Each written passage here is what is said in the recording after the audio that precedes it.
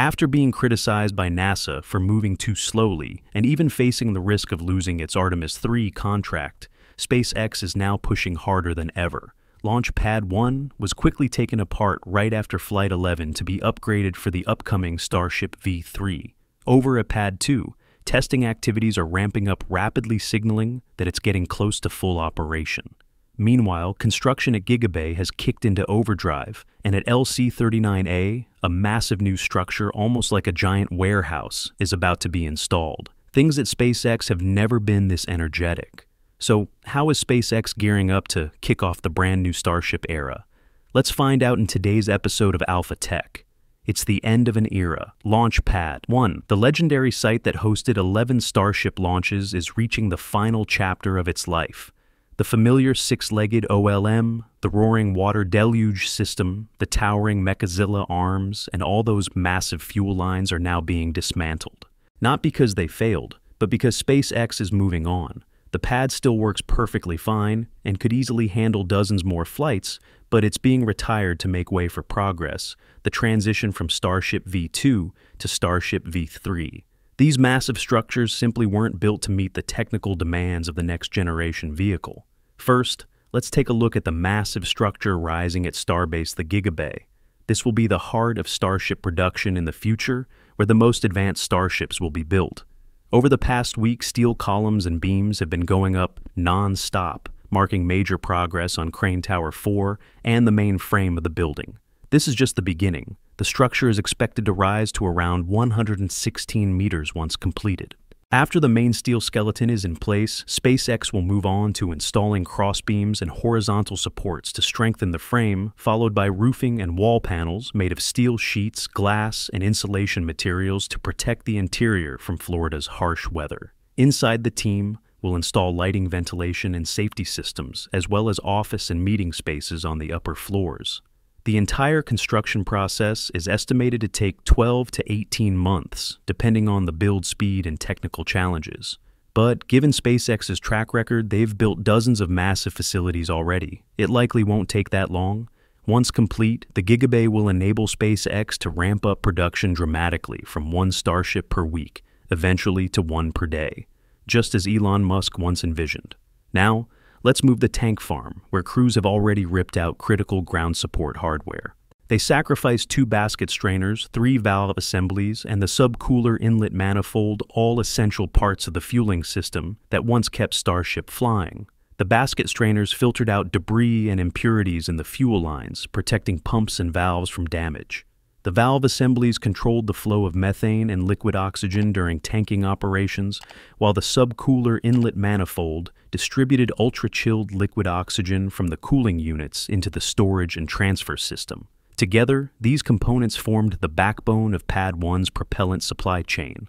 Now, they were gone, lifted away by cranes one after another, part of a fast, no-nonsense demolition campaign that began right after Flight 11. The reason behind all this removal is simple restructuring the entire cryogenic pipeline system. Starship V3 will need a much faster propellant flow rate, up to 5 500 to 6,000 tons per hour, so the old setup just isn't enough anymore. To handle that, SpaceX is introducing a new quick swap GSE module design. Instead of being permanently welded in place key components like valves, filters, and manifolds are now mounted on mobile skids, which can be swapped out in just 24 to 48 hours. It's a smarter, faster, and much more flexible system. This upgrade also ties directly into SpaceX's plan to run Pad 1 and Pad 2 in parallel. Removing the old GSE is just the first step in mirroring Pad 2, so both launch pads can operate interchangeably using the same shared tank farm without needing any major reconfiguration between flights. Speaking of Launch Pad 1, major changes are already clearly visible, especially the orbital launch mount. Last week, crews started peeling away those big steel shields around it. Plasma torches have been running almost non-stop, cutting through the shielding, and those thick deck plates on top of the OLM ring. Bit by bit, they're exposing all the fuel lines inside so they can pull everything out. It's a slow job. The OLM's internal structure is insanely complex, They'll need a few more weeks to strip it down, make it lighter, and then start taking it apart, piece by piece, the ring, the six legs, the cooling system under the mount. even the deluge setup. All of this is to clear space for a brand new OLM, complete with a flame trench. So, why go through all this trouble? Because Starship V3 is on a whole new level. Its heavier runs on upgraded Raptor 3 engines and produces around 10,000 tons of thrust. That's an enormous amount of power. At ignition, the exhaust can reach 3,500 degcr, uh, hot enough to melt steel in seconds. The old OLM simply couldn't handle that the heat and acoustic shock alone could destroy piping valves, even the booster QD. The new setup with a deeper and wider flame trench, about 30 by 10 meters, will channel that plasma away from the pad, protecting everything around it. If the old pad was good for maybe 50 flights before needing a rebuild, this new one could go 10 times longer. Right above the OLM sits Mechazilla, and its massive catching arms, better known as the chopsticks, have recently caught everyone's attention. They've been marked with white paint lines, which likely means SpaceX isn't removing them completely, but rather cutting them shorter. From what it looks like, SpaceX might be planning to shorten Mechazilla's chopsticks from about 2 meters down to roughly 18 meters, a strategic change aimed at improving both efficiency and safety during booster catching and Starship stacking operations. According to the spaceflight community, the main reason behind this modification is to reduce dynamic load on the tower, increase catching precision, and improve control in high wind conditions. Shorter arms flex, less react, faster, and simply make the whole system safer. In fact, this new shorter chopstick design has already been implemented at both Pad 2 in Starbase and LC-39A in Florida, making it clear that SpaceX is moving toward a more standardized, refined Mechazilla setup across all sites.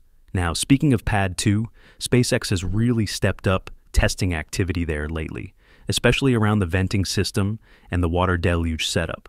You can often see short venting bursts and small-scale water releases happening every few days.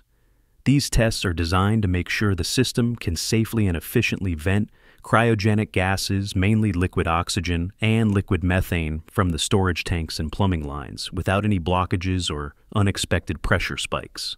That might sound minor, but it's actually a critical part of launch safety.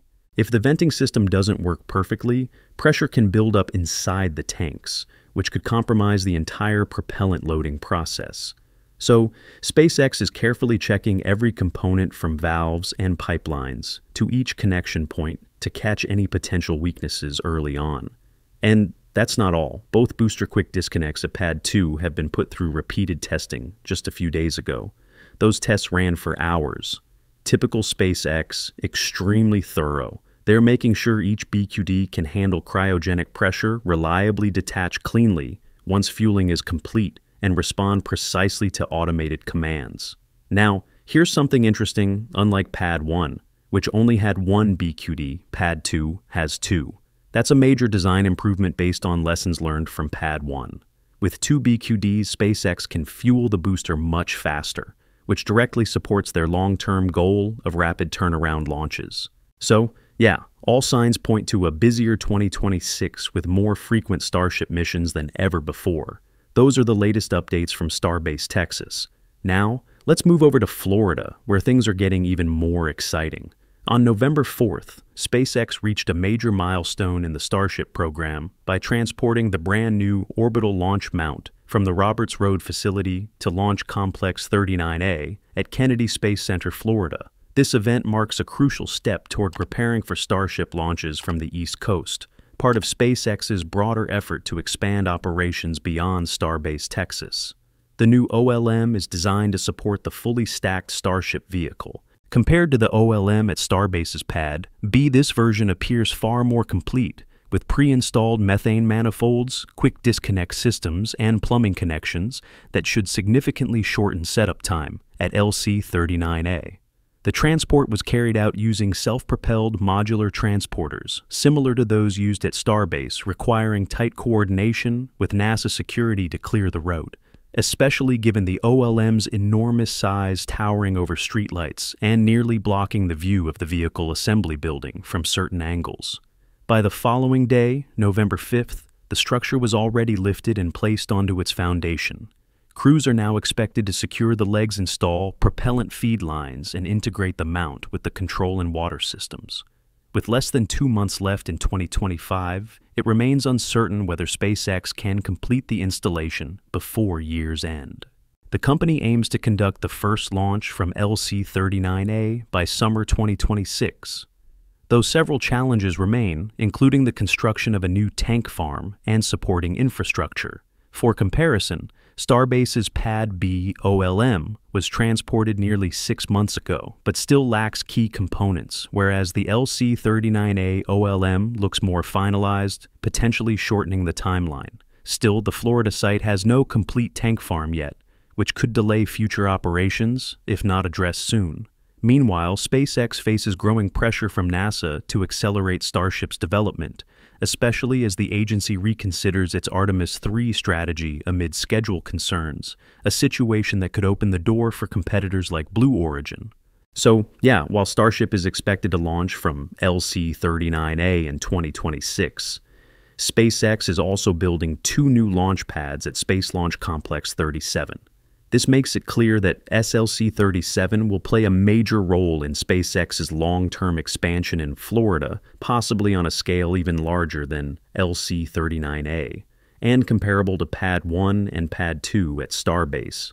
In SpaceX's latest HLS update, the company even hinted that SLC 37 will serve as the primary site for future lunar missions noting rendering of future Starship launch pads planned for Space Launch Complex 37 at Cape Canaveral Space Force Station in Florida. Development is still in its early stages, so information remains limited. However, reports indicate that seven of the nine tower modules for one of the launch towers at SLC 37 have already been assembled, impressive progress considering construction only began in June.